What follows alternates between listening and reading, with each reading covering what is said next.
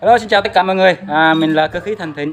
Thì hôm nay mình sẽ làm video tiếp tục về cái phần 3 à, về cái cầu thang à, xương cá à, gấp gọn vào tường nha.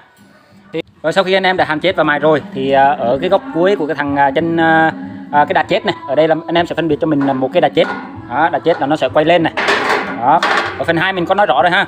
Thì anh em nào chưa xem thì à, ghé phần 2 xem nhá rồi ở đây là cái đà chết thì mình giữa cái đường, này là mình có cái bậc bỏ cái bậc đó, cái bậc chân của mình. À, hoàn lấy cái bậc chân chân cái. Đó mình bỏ bậc chân vào đây. Thì tức là anh em muốn làm cái bậc chân ở đây là vuông 25 thì anh em sẽ cắt cho mình cái dây chân này lên lên hai phân rưỡi. Và anh em muốn bỏ đây là cái bậc à, cái vuông ba thì à, ở đây anh em sẽ cắt đi cho mình vuông ba. Đó nếu mà bỏ vuông 4 thì cắt đi 4 phân ha. Rồi bỏ cái bậc vào chân này. Đây mình sẽ bỏ cái bậc vuông ba vào cho anh em cùng xem này. Đó. Cái bậc nó, nó nó sẽ nằm chính giữa của cái đoàn này nhá. Đó. Đó như vậy là mình sẽ bằng mặt với nhau. Đó đó đây này mình đã cắt rồi này. Đó, cái này lúc trước của nó. Nếu như anh em đã tính toán về lúc trước á lúc trước anh em đã nếu ví dụ ví dụ mà lúc trước có tính toán rồi thì uh, mình sẽ cắt ở lúc trước luôn. Nhưng mà làm cái cách đó thì nó sẽ cái độ chính xác của nó không có cao bằng khi mình làm xong rồi mình cắt ha. Đó xong rồi anh em sẽ bịt cái cái, cái la lại. Rồi. Rồi đó là về cái uh, thằng dưới chân của cái thằng đà chết. Đó. Rồi bây giờ cái thằng uh, mình nói về cái thằng đà sống rồi đà sống thì ở phía trên cao này. Đó, anh em để ý cho mình. Đây là cái đà sống này. Đà sống này anh em sẽ khi mà cắt thì à, hai cây bằng nhau thì anh em sẽ cho nó dư ra thêm một đoạn nữa. Đó, khoảng 20 đến 30 phân. Để khi mình ghép lại với nhau á ví dụ à, mình đặt cái cái à, cái bậc chân của mình này nó lên tới đâu thì uh, mình sẽ cắt tới đó. đó ở đây bộ hôm mình làm bị hụt hết 12 phân cho nên mình nối lại rồi. Đó, mình nối cái đoạn này này. Đó 12 phân rồi vậy cho nên anh em à, cứ dư ra 20 đến 30 phân đi. Rồi có gì mình à, cắt sau được. Thì tại à, cái bậc dư trên này là nó tùy thuộc vào cái bậc chân của mình nữa. Chân mình rộng ra thì nó sẽ cần dư ra nữa. Đó. đó. khi anh em hành chết thì anh em sẽ gốc lại với nhau vậy này đó để hành chết rồi mài ha. Rồi tách ra mình sửa mình sửa xong rồi mình mài để khi anh em gộp lại đi là khi mà anh em hành chết là nó sẽ những cái chân này nó sẽ không bị nghiêng.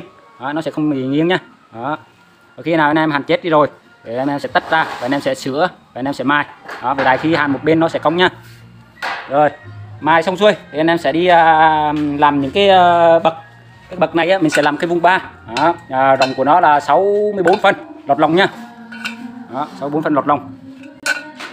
Để à, cắt được những cái thân này đều với nhau á, thì anh em sẽ bấm cái bấm phía sau đít của nó. Đó.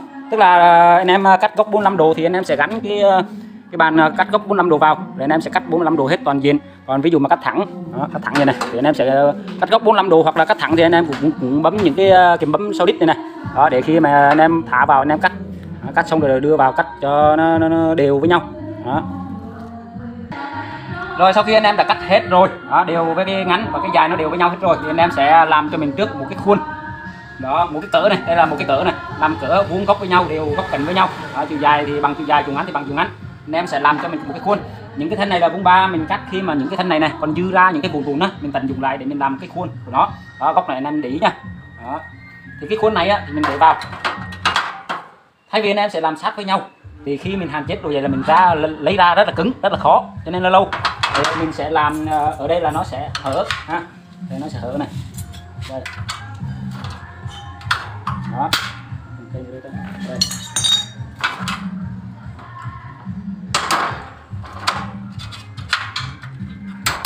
Đó, mình làm mình sẽ nó sẽ hở như vậy. Đến khi mình à, hàn xong, mình sẽ rút cái này ra.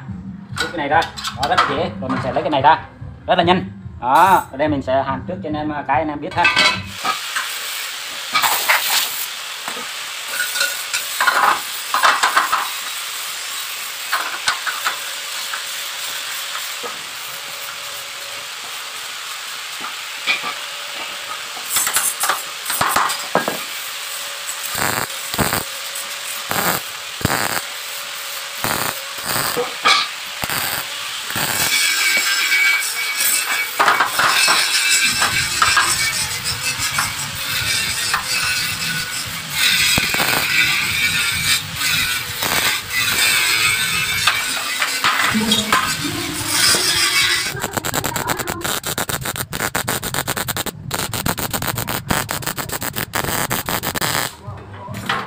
Vâng.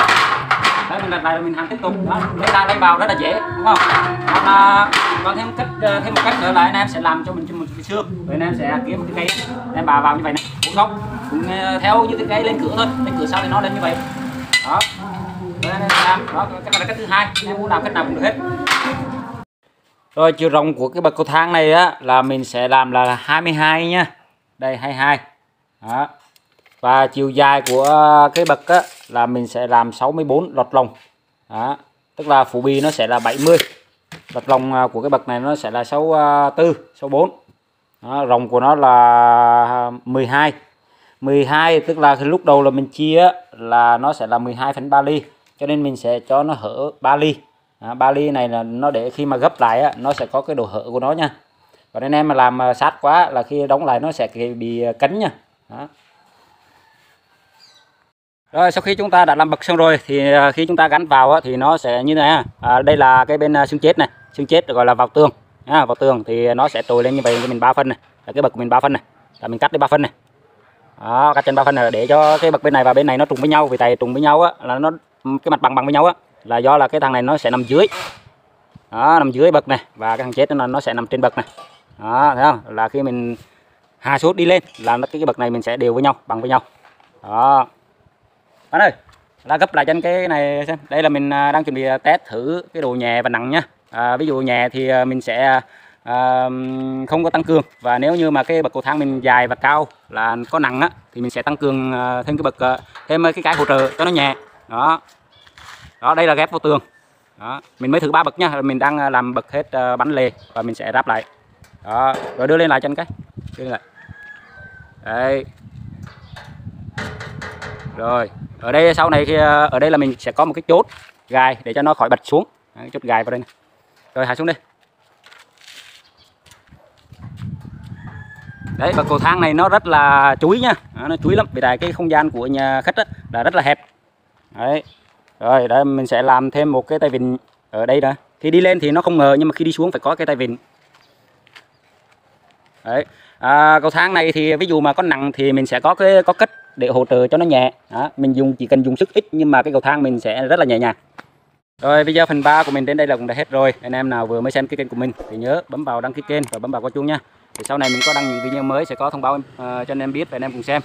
À, rồi video phần 4 thì mình sẽ hướng dẫn cho anh em cái cách uh, vào lề và chọn lề. Đó, chọn lề và vào lề. Đó. rồi những cái mâm và làm uh, cái uh, tay tay vịn nha rồi xin chào tạm biệt.